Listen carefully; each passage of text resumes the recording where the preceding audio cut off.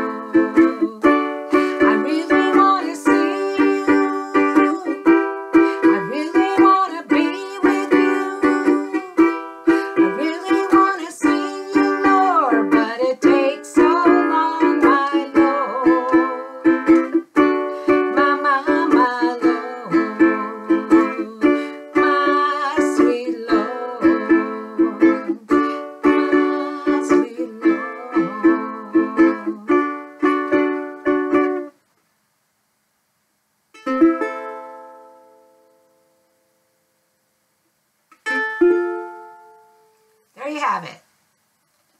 Two George Harrison songs.